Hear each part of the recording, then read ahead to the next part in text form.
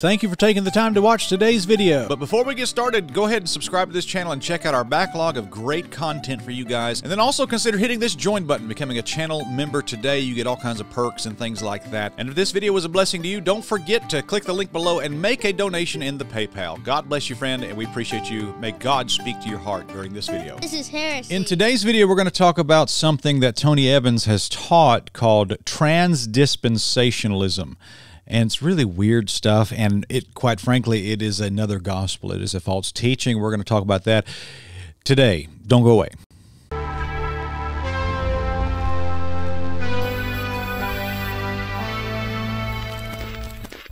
So thank you guys very much for watching today's video. Go ahead and smite thine like button and uh, do that. We're going to play a clip from our live stream that we did the other night where somebody asked a question about Tony Evans and transdispensationalism. And so take a look at this right now. I got one here that said, uh, What is transdispensationalism? That's a good question. Let me pull up Third Adam 4 uh, for everybody so you can see that here. Where is Third Adam 4? Uh, transdispensationalism is a belief from a guy named Tony Tony Evans, who is the father of Priscilla Shirer. Let me see if I can find this in uh, the four hour. There it is, right there. Okay. So, um, to give you the textbook definition of transdispensationalism right off third Adam 4 out timestamp of 1 hour 38 minutes and 12 seconds okay? Despite being a popular this is what i wrote despite being a popular speaker in evangelicalism tony evans has multiple doctrinal issues. One of his major issues is his view on something called transdispensationalism which is the idea that if somebody does not hear the gospel but walks in the light that he has he will be in heaven let me let me read that again because I, I want everybody to be shocked by that statement because it's a dangerous statement. Okay. Um, transdispensationalism is the idea that when that if somebody does not hear the gospel but walks in the light that he has, he will go to heaven. This is comparable to the universalist views that Billy Graham promoted at the end of his life. Here's his own words. He wrote a book called Totally Saved. Tony Evans did. And here's the quote from the book. In the case of a person who never hears the gospel and never knows the name of Jesus, but who responds to the light that he has, God treats that person like an Old Testament saint, if you will. That is, if the person trusts in what God has revealed, God deals with that person based on the knowledge that he has, not the information he never received. Yikes. That is called trans. I call this transdispensationalism. So basically, what he's saying, got some dude out in a, a, remote island in Fiji somewhere, and he's walking around with a bone in his nose, and he knows that that stealing is wrong because the law of God is just written on the conscience of man, and you know every culture who's ever lived has basically had a law saying that you could not, you can't steal. That's wrong. So that's written on his heart. He's never read a Bible, never read John three sixteen, never read nothing. But he says, you know, I just think it's just wrong for a person to steal, and he lives his whole life thinking that it's just wrong for a person to steal. Tony Evans is claiming that that person will go to heaven. I, do, I believe there's a great maker in the sky. I see the stars, and I do believe there's a great maker. And I do, in my conscience, believe it's wrong to steal. Tony Evans said that person's going to heaven. That's heresy. That's a false gospel. That is not true, not even in the slightest. Okay. Um, it says right here that um, by he even quotes and says this by this i mean if a person is sincerely seeking god and desiring to know him and is responding to the truth he knows if there is no missionary or direct manifestation of God, then God judges that person based on his faith in the light he received. As in the case of Abraham, God will retroactively count this person as righteous by applying the death of Christ from the dispensation of grace. Straight up hogwash. Yeah. That is an that is an assault on the very nature of the gospel. That is an assault on missions. And that is the exact words of Tony Evans when he wrote that book called Totally Saved. And that's what transdispensationalism is. Um, whoa, buddy. Mm-hmm.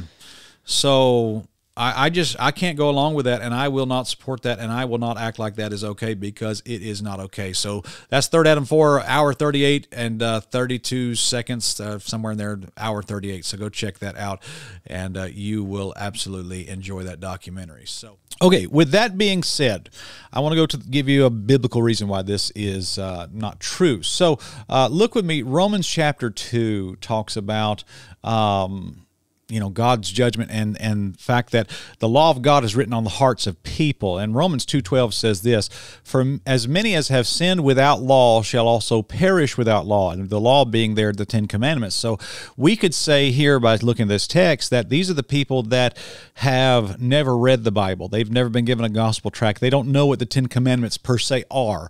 Um, but it says that those who have sinned without law shall also perish without law, meaning they're still going to hell even though they've never seen the Ten Commandments and don't know the law of God.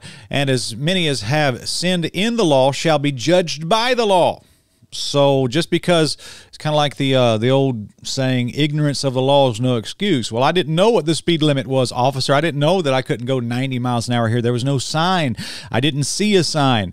Um, ignorance of the law is no excuse. You still broke the law. Uh, Romans, uh, let's see here, verse number 13. For uh, not the hearers of the law are justified before God, but the doers of the law shall be justified. Uh, for when the Gentiles, which have not the law, do by nature the things contained in the law, these having not the law are a law unto themselves and uh, which show the work of the law written in their hearts, their conscience also bearing witness, and their thoughts the meanwhile accusing or else excusing uh, one another in the day when God shall judge the secrets of men by Jesus Christ according to my gospel. So, even if you've never heard the Ten Commandments, and even if you, as an unsaved person, try to do the best that you can, you still have fallen short of the glory of God. You, there's enough knowledge there just written on the conscience of a man to convict him and to condemn him, but not to convert him and not to save him. And that's the problem. This is what Tony Evans is teaching. He says if these people out there in these islands somewhere uh, just do the best they can, they never hear uh, the gospel, then God, you know, will allow them to go to heaven.